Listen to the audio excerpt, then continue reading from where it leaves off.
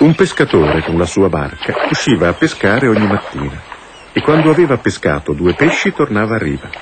Uno lo teneva per mangiare, l'altro lo portava a un ricco che gli comprava un pesce al giorno. Un giorno la cuoca del ricco, aprendo il pesce che il pescatore aveva portato, trovò un diamante e poiché era una donna onesta andò dal padrone e gli disse quello che era capitato. Non dire niente a nessuno e soprattutto al pescatore, disse il ricco. Se taci, ti aumento la paga di un soldo alla settimana.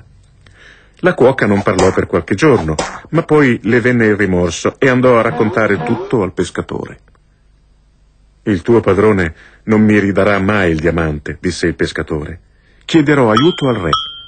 Così andò dal re e gli raccontò la faccenda. Quando il re l'ebbe sentita, mandò a chiamare il ricco e disse Hai trovato un diamante nel pesce che ti ha venduto quest'uomo?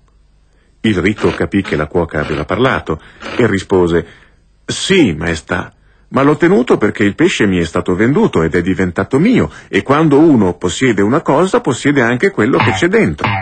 Il re chiamò tre vecchi giudici e chiese Chi possiede qualcosa? Possiede anche quello che c'è dentro? I tre giudici parlarono, bisbigliarono, confabularono e poi dissero Sì, maestà. Allora il re disse al pescatore hai sentito? Ho sentito. Se la giustizia è questa, io l'accetto, disse il pescatore. E tu hai sentito? chiese il re al ricco. Certo che ho sentito, maestà, disse allegramente il ricco. Dunque la cosa è risolta, disse il re. Tu, pescatore, te ne puoi andare. E io? disse il ricco sorpreso. No, tu no, rispose il re. Perché questo castello è mio e siccome tu sei dentro a qualcosa che è mio, sei mio anche tu. Resterai sempre qui e mi farai da servitore. Il ricco implorò, supplicò, pianse, ma non ci fu niente da fare. Dovette fare il servitore del re.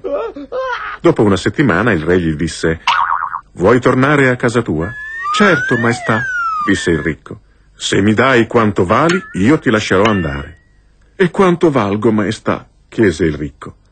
Hai lavorato bene in questa settimana.